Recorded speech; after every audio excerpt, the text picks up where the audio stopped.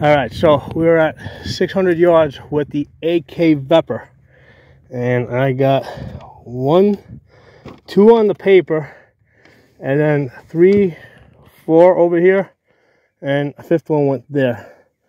So we got two on target. I think this was a five shot group.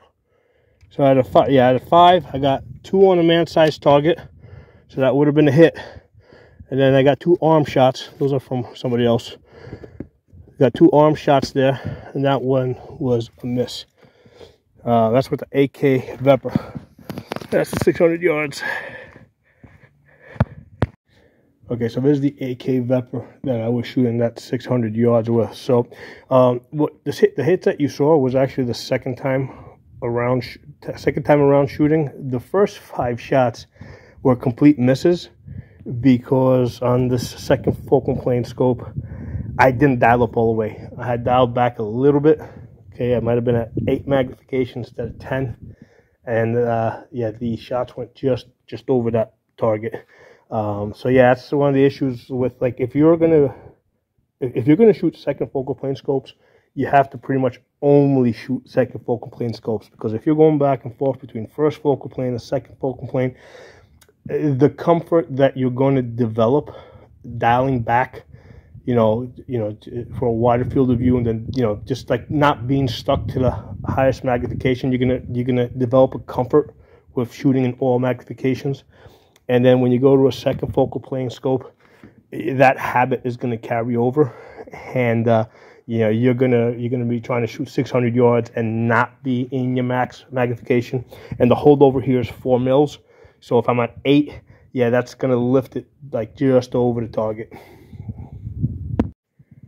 Hey everyone, so I was shooting the Vepr 308 at a thousand yards and one hit here with the two squares. So that's one out of five at 1,000 yards. So the holdover was 15 mils, the, the full mil grid. Okay. Uh, initially, I tried 13 and a half um, and I spotted an impact that was low, like on the 15 mil line. And basically, I adjusted to that um, and that's how I got my hit. So the because I, took at first I took five shots. I think those were completely wasted.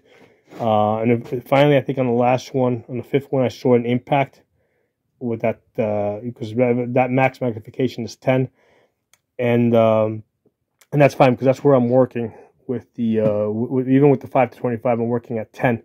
Well, I, I finally spotted an impact. I saw it was on the 15 line, and then I took another five shots only one hit. We'll take another five. We'll see if we can do better. All right, well, let me give you guys some thoughts on shooting the AK Vepr uh, at a thousand yards for the first time.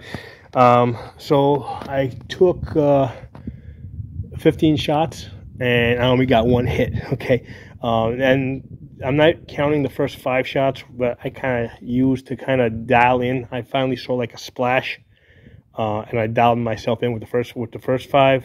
So and then I shot 15 after that uh, in five shot successions, and I, I, just couldn't you know I couldn't get there. Now with the AR-10, yeah, basically I'm getting like an average of like four out of five, about three either three MOA between three MOA and four MOA with the AR-10. Okay. Um, so uh, now, in all fairness, I just mounted this scope. That's the primary arms um, uh, 1 to 10 by 28 SLX this week. All right, and I shot this at 100 yards. Uh, I got 50 yard zero, shot at 100 yards so that, you know, uh, got an idea of what my grouping was. And then from there, basically, I just went straight to 1,000 yards today. Um, ideally, I would have liked to have shot, if I had more time, I would have shot this at 200 yards, uh, shot it at 300 yards, uh, shot it at 600 yards. Um, so on the one hand, yeah, maybe I need to just like work with this rifle a little bit more. Um, that's that's entirely possible. Um, a couple of things that are really working against me: the ergonomics. This stock is very hard to, you know, basically, um, you know, get the right elevation at the back. Um, other thing uh, is the just the way that the scope sits on the side mount. It's just too high. Um, so I'm taking a basically a chin instead of a cheek weld, I've got a jaw weld, or or, or, or you know, so the, my face isn't sitting perfectly on the gun. Uh, other thing that's throwing me off a little bit is the fact that there's a second focal plane.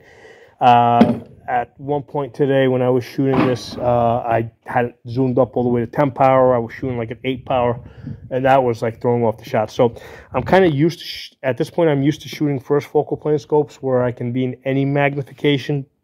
And now with this one, I can only be in 10 magnification. Uh, so that's, that's throwing me off a little bit. Okay. Um, so yeah, I'm thinking this is a four hundred fifty dollars scope. I got this like two years ago. I'm thinking I'm going to probably sell this one off for about three fifty because at this point I'm just so like all my other scopes are like first focal plane. I got this oddball second focal plane over here. It's just not working well with the habits that I'm developing. Okay, um, so those are my thoughts so far on this. Uh, yeah, so I, I I'm going to work on this a little bit more and see if I can you know uh, you know, if I can stretch this out. Uh, but yeah, I mean, I know I've been at 100 yards. I, I probably got to go and hit the 200 yards, get the 300 yards. Um, but yeah, I mean, no problem hitting a 1,000 yards today with the AR-10. Um, but that, you know, I got a little bit more practice on that. But then again, the first time I shot my AR-10 at a 1,000 yards, you know, I got, uh, I think it was like 9 out of 10 hits. I posted a video on that for like 2.2 MOA, right? It was like a 22-inch group at a thousand yards. First time shooting the AR-10. I don't seem able to do that today with this Vepr AK.